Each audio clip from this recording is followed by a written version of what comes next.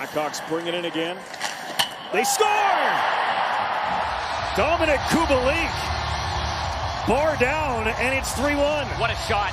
What a shot by Kubalik. Holy jump, and he got everything on this. The Calder finalist a couple of seasons ago. Yeah, he certainly did a great entry by the Blackhawks. Kick it out wide, get it back to the point, and Kubalik is not going to dust this off. But look at the net front presence by Kirby Dach. That big body in front of the net, a howitzer of a shot. A riser goes over the shoulder of Kuemper. That's exactly what the Hawks needed to get back in this game. Yep.